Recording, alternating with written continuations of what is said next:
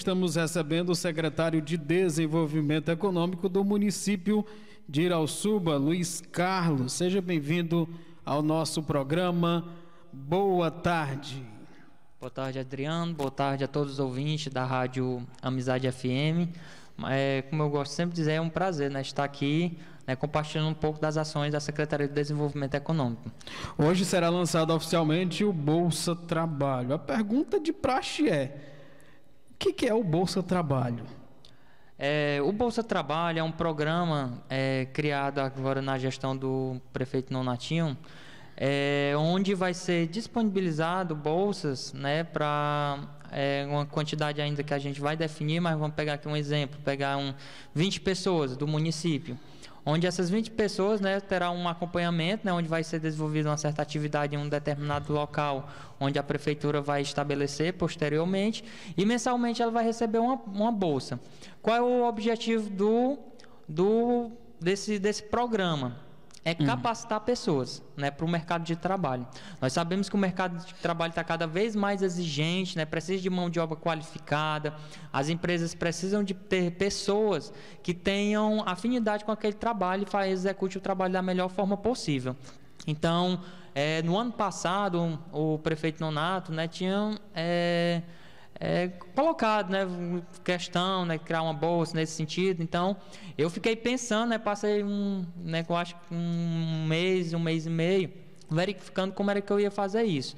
E aí eu tive a oportunidade de participar de um evento em Fortaleza, né, do, inclusive do Instituto Palmas, e lá, né, pintou a ideia, né, tinha já um, já tinha esse projeto, acontecia, inclusive nesse que eu ouvi comentário, foi um projeto que aconteceu no estado do Pará, e hum. aí eu fui atrás, na fim, olhei, analisei até que a gente é, organizou e colocamos aqui para funcionar no nosso município.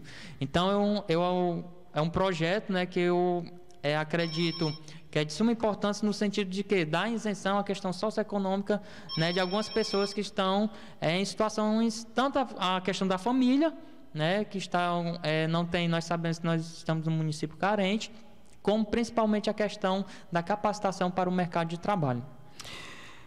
É, inicialmente, esse programa ele vai atender a quantos jovens, a quantas pessoas? Eu acho que não é destinado só a jovens, né? Mas assim, pessoas que estejam é, no perfil de, de atividade de trabalho, né? Vai ser quantas pessoas que serão contempladas inicialmente com esse programa? Isso. É, em relação à quantidade de vagas, ainda a gente não definiu, né? Mas como eu dei um exemplo recente, há pouco tempo, é a questão, vamos supor, por 20 pessoas, hum. né? Então, essas 20 pessoas irá passar um período X, né? É, exercendo atividade, né? Em algum local que a prefeitura irá definir, tá certo?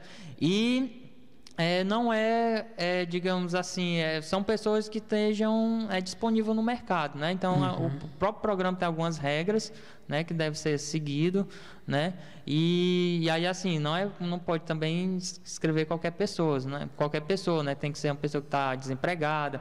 Por exemplo, você está desempregado, mas está recebendo seguro-desemprego, né? Não pode se inscrever no programa, né? Então só após seis meses, né? Que a pessoa, né, que normalmente é o período que a pessoa está recebendo seguro-desemprego, que pode estar tá se inscrevendo no programa.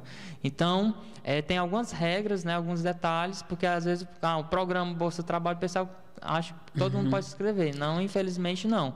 Né? Então, são para pessoas né, que estejam nessa questão desempregadas, ou pessoas que ainda não tiveram a primeira oportunidade, né, que estão disponíveis no mercado.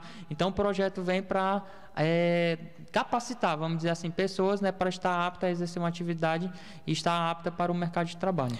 Essas áreas de capacitação, elas já foram definidas ou também será amadurecida mediante o número de inscritos? É, a gente está amadurecendo, né? Então, vou citar com um exemplo. Nós temos uma deficiência tá certo? Eu também é, sou secretário, mas eu sou professor uhum. e a gente analisando, já está com um tempo que eu analiso a questão do mercado em Irauçuba. Nós temos um, uma área, por exemplo, na parte escritório, tá certo? Vamos pegar na parte de escritório. Nós temos um problema muito grande em encontrar pessoas que estejam aptas a exercer atividades simples do dia a dia de um escritório, de rotina é, administrativa fazer ofício, redigir textos, fazer atendimentos, né? Então assim a gente vê a necessidade. Então a, a, seria uma das da, das áreas, vamos dizer assim, que poderia estar é, dando apoio a pessoas, né, para que as pessoas possam estar se aprimorando nessa parte administrativa. E quando eu falo em algumas questões administrativas, por exemplo, a questão do, é, de pessoas ter habilidades com isso é, é importante porque para onde você for trabalhar, você precisa saber fazer algo semelhante. Então é uma coisa que seria padrão, né? Então, se a pessoa não quiser seguir a área administrativa, mas se ela for para a área de vendas, né, tem coisa administrativa também, então ela conseguiria né, desenvolver essas atividades tranquilamente, né, devido a essa capacitação que foi recebida uhum. anteriormente. Essa capacitação, ô Luiz Carlos, qual que é a duração dela? Tem, tem um tempo específico para a pessoa poder se adequar? Como é que vai funcionar? Pronto, dentro do nosso projeto, dentro é, é, da lei propriamente dito, né, tem um hum. prazo de seis meses, né, que é, vai dar, ser dada essa bolsa, né, para as pessoas, um prazo de seis meses que as pessoas possam estar, tá, né, criando habilidade. Então, é um período bom, né, que, que as pessoas podem desenvolver-se, né? dentro desse período. Uhum. E às vezes a gente, a, a, analisando também, a gente percebe que às vezes precisa só fazer um pequeno apoio né, para as pessoas. É, eu vejo que é como se fosse um empreendedor. Às vezes o, o, empreendedor tem uma ideia, só que às vezes não sabe utilizar, colocar essas ideias em prática. Então, às vezes nós temos pessoas que possam ser excelentes profissionais, mas ainda estão um pouco adormecidos, né? Às vezes, as, às vezes oportunidade. Então, esse projeto eu acredito que vai ser de suma importância para que a gente possa estar tá desenvolver, desenvolvendo e melhorando a mão de obra no nosso município. Pronto, como se trata de uma bolsa, é, a pessoa interessada ela vai ganhar um incentivo, né? De quanto que será esse incentivo que a pessoa vai, vai ter ali como bolsa para estar tá atuando durante esse período? Pronto, o valor da bolsa, né, que vai ser disponibilizado né, para as pessoas que é, ingressaram no programa, vai ser no valor de R$ reais, né, que vai ser é, disponibilizado para a pessoa. 400 reais. Hum. E aí, a pessoa, nesse período de seis meses, corre o risco de ser prorrogado ou vai abrir espaço para mais pessoas? Pronto, aí pode ser prorrogado, né? Mas, mas assim, a ideia é que a gente possa estar tá, é, pegando o máximo de pessoas possível. Uhum. E também lembrando, porque as, outra coisa que acontece, às vezes as pessoas se inscrevem no programa e acham que pode fazer de qualquer jeito, né? Uhum. Então, é, quem me conhece, né, eu gosto que as coisas funcionem da melhor forma possível, dentro da legalidade, né, e que as pessoas aproveitem as oportunidades, né, e que a, e quem for selecionado, né, vá é, fazer as atividades, né, e que realmente dê o seu melhor, que é uma coisa que eu gosto sempre de dizer, né, que você, tudo que você for fazer, procure dar o seu melhor. O Júlio, lá do Messi, está perguntando, diz que está desempregado, queria saber é, quem pode se inscrever no programa Bolsa Trabalho. Pronto, é, vai ser lançado um edital, né? Inclusive hoje à noite, no lançamento do, do programa, né? O prefeito vai estar assinando o edital, né? Que amanhã já vai estar na página da prefeitura. E esse edital, vai, nós vamos estar já colhendo né, as pessoas que se interessaram. Então, no edital vai estar dizendo lá as características. Por exemplo, tem que ser maior de 18 anos, tem que estar desempregado, né? A renda familiar não pode ultrapassar 50% da, é, dos componentes da casa.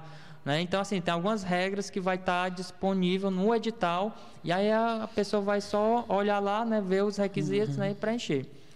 Pronto, é, ainda vai ser lançado o edital, mas acredito que as, as inscrições elas serão realizadas mesmo na secretaria. Isso, pronto. As inscrições vai ser realizadas na Secretaria de Desenvolvimento. Já tá a partir de quando? Assim que o edital for lançado. Amanhã, na nossa programação, o edital está tá preparado para ser lançado amanhã. E a partir que o edital estiver no ar, né, as pessoas já podem estar né, se, é, se programando para fazer a inscrição na secretaria. Legal. É, então, acredito que respondeu aí o nosso ouvinte lá do MICI. É, hoje, oficialmente, que horas que vai ser o evento lá? Pronto, hoje, a, aproveitando aqui para convidar todos né, para participar do lançamento, o programa Bolsa Trabalho, que vai ser às 19 horas no Centro do Idoso, né, que está localizado ali na rua é, Júlio Pinheiro Baixo, né, vizinho ao Polo Esportivo. Legal demais. É, no mais, você queria falar mais alguma coisa a respeito do Bolsa Trabalho? Eu acho um programa fundamental. Não, é a, a ideia do projeto ele é muito bacana, né? Então, assim, Depois que a gente já já tinha já estava se preparando, eu já vi várias vários outros locais que têm projetos semelhantes. Já vi em universidade, já vi em estados, já vi em outros municípios, em outros municípios. Então assim é a oportunidade que se dá é, aos munícipes né, de estar se capacitando para o mercado de trabalho. Muito bem.